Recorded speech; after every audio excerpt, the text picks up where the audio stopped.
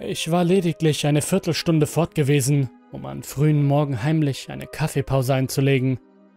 Bei meiner Rückkehr hatte sich die Panik wie ein Lauffeuer im Büro ausgebreitet. James, was ist hier los? fragte ich, mehr irritiert als alarmiert. Er brauchte nicht zu antworten. Stattdessen deutete er nur auf die Fenster.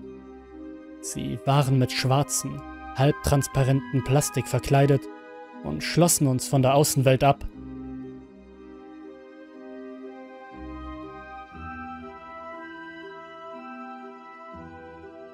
Die Seuchenschutzbehörde hat uns hier eingesperrt.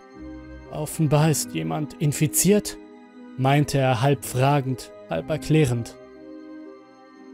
Vor einer Stunde hatten wir alle ein von der Firma spendiertes Bagelfrühstück genossen. Die Stimmung war ausgelassen und wir waren bereit zu arbeiten. Jetzt aber waren wir plötzlich buchstäblich Gefangene. Durch das Plastik hindurch konnten wir sehen, wie bewaffnetes Wachpersonal im Gebäude patrouillierte. Alle trugen schwarze Uniformen und Gasmasken.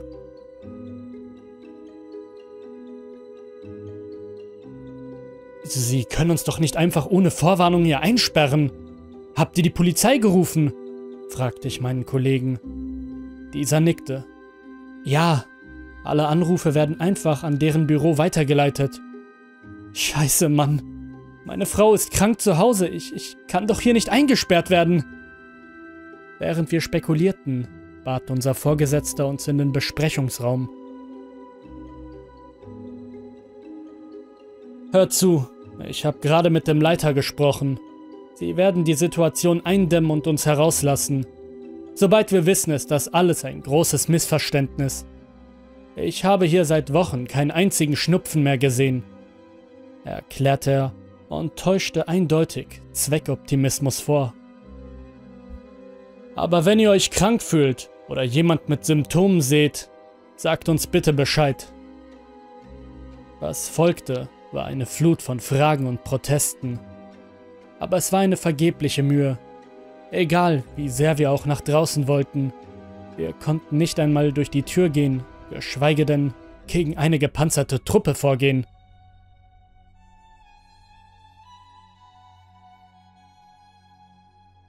Sie fingen an, die Köpfe zu zählen und merkten schnell, dass einer von uns verschwunden war. Hat jemand Leonard gesehen? fragte der Chef. Er ist vor einer Stunde auf die Toilette gegangen, berichtete James. Ich werde. ich werde nach ihm sehen. Ich schloss mich an und wir beide machten uns auf den Weg, um nach Leonard zu suchen. Als wir die Badezimmertür öffneten, schlug uns sofort ein metallischer Gestank entgegen. Mir wurde fast kotzübel, als ich ihn in einer Lache seines eigenen Blutes sitzen sah, während er sich an ein Küchenmesser klammerte. Ich habe versucht, sie herauszuholen. Aber es sind zu viele, versuchte Leonard kraftlos zu erklären. Er hatte Teile seines eigenen Arms abgetrennt und auf dem Boden verteilt. Wir stürzten uns auf ihn, um ihm das Messer wegzunehmen, und dabei bemerkte ich lange, dünne Fetzen, die eine Ähnlichkeit von Würmern aufwiesen, welche den Boden überzogen. Nein, hört auf, ich muss sie herausschneiden! Ihr bringt mich um! schrie er in Protest. Was ist das? stotterte ich. Würmer? fragte James. Auf den ersten Blick sahen sie tatsächlich so aus. Doch nach einem Moment dämmerte mir, dass es sich bei den Dingen, die Leonard herausgeschnitten hatte, um seine eigenen Venen handelte. Ich muss sie herausholen, schluchzte Leonard in seiner Manie. Ich versuchte meinen Gürtel um seinen verwundeten Arm zu wickeln, um eine behilfsmäßige Aderpresse anzulegen. Leider hielt der Verband nicht, und bevor wir eine Chance hatten, seine stark blutenden Gliedmaßen zu stoppen, verstarb er am Blutverlust und des auftretenden Schocks seiner Verletzungen. Wir hatten nicht einmal Zeit, die Situation zu verdauen, bevor wir von einem entsetzlichen Schrei unterbrochen wurden. Wir eilten zurück ins Büro und mussten mit ansehen, wie einer unserer Kolleginnen verzweifelt versuchte, die Glastür einzuschlagen.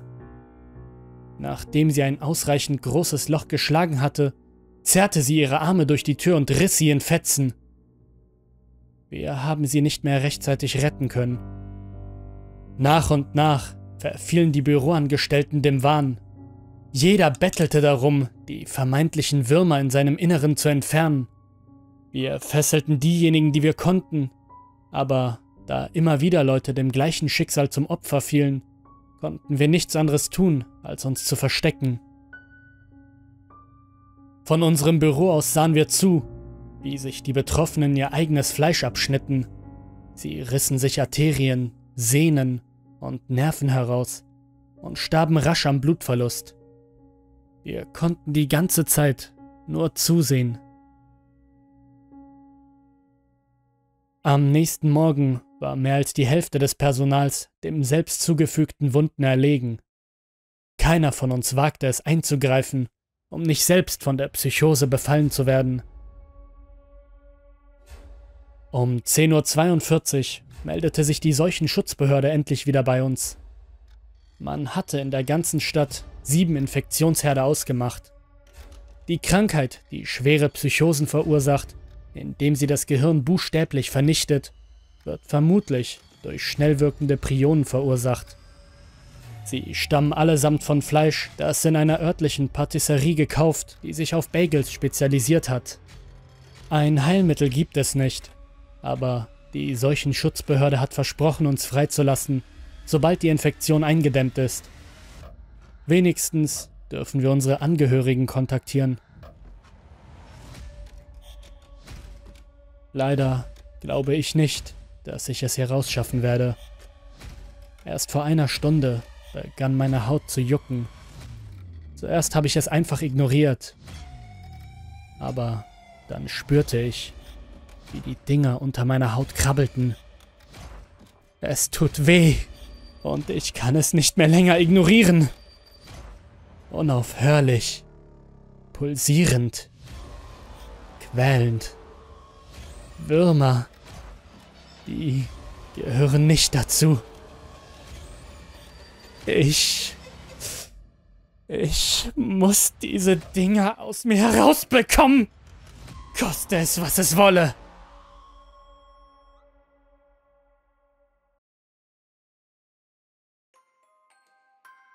Steve und ich stehen jeden Tag an der Bushaltestelle und warten auf unseren Bus. Doch in letzter Zeit verhält sich Steve irgendwie seltsam. Er ist ruhiger geworden, mehr in sich gekehrt als sonst. Und so langsam frage ich mich, ob alles in Ordnung ist bei ihm. Vielleicht hat er wieder einmal Stress zu Hause. Kann gut sein. Aber ich habe keine Ahnung, wie ich ihn darauf ansprechen soll.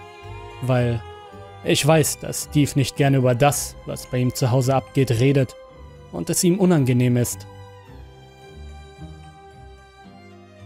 Er spricht eigentlich nie davon. Ich höre es nur manchmal, wenn wir abends zusammen online zocken. Und Steve dabei vergisst, sein Mikrofon stumm zu schalten, wenn er gerade nicht am PC ist.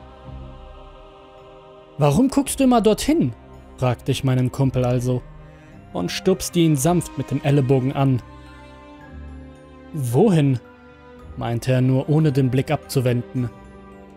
Ich rückte Steve etwas mehr auf die Pelle und streckte die Hand in die besagte Richtung aus. Na dahin! Ich zeigte auf den großen Baum, der auf der anderen Straßenseite in die Höhe wucherte und der bereits vom Herbst gezeichnet ist.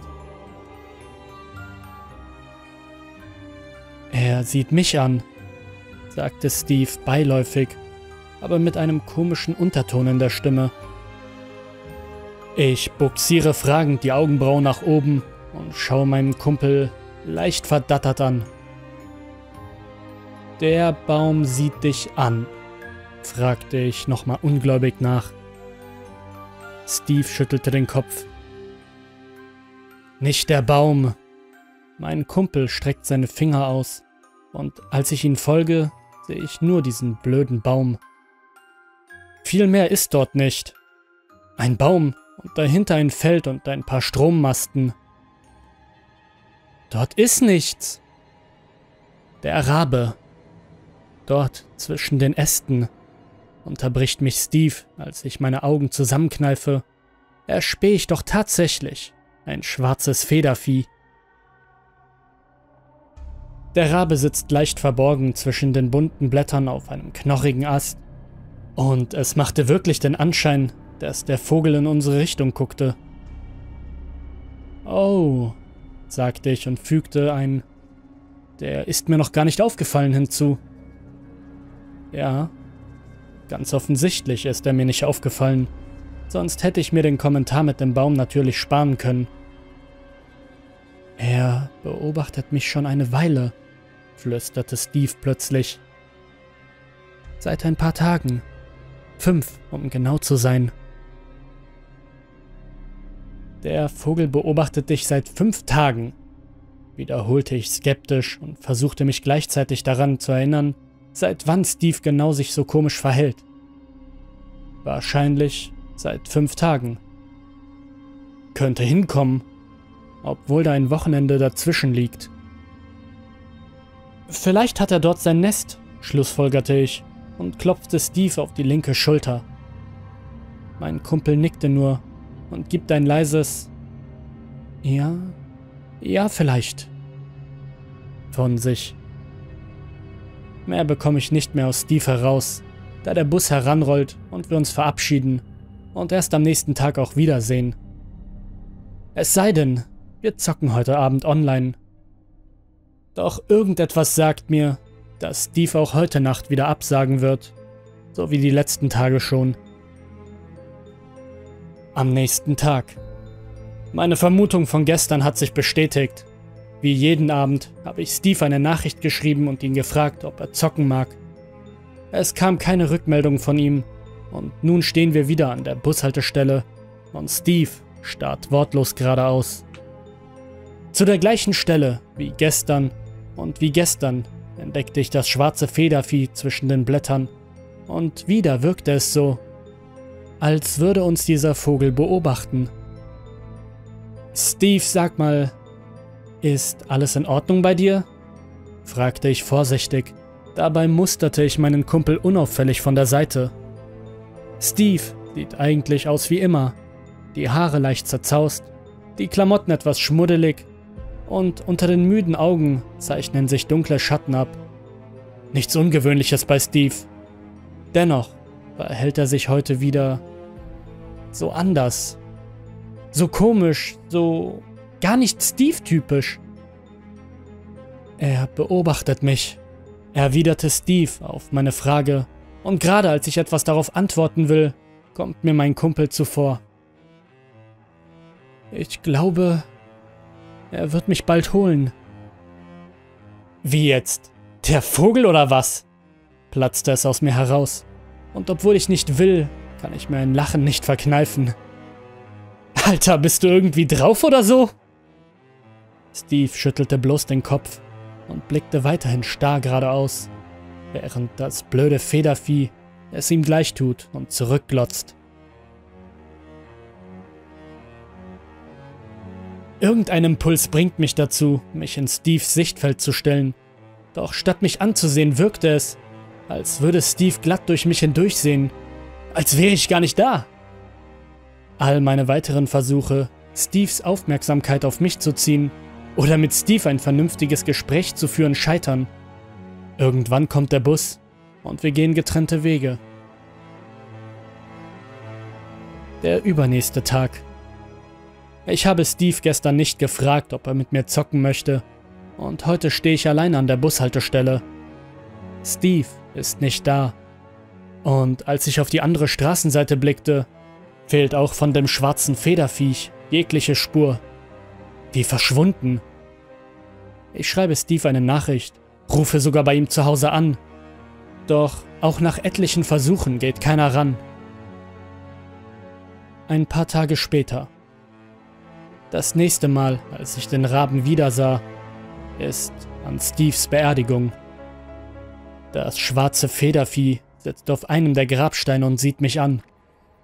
Ich starre zurück. Und auch als Steves kleine Schwester Susan neben mir in Tränen ausbricht, kann ich nicht anders, als diesen blöden Vogel anzustarren. Da ist etwas in seinem Blick. Ich sehe es jetzt auch. Ich spüre es sogar ganz deutlich. Ich glaube, er hat Steve geholt. Und die kleine Susan ist als nächstes dran.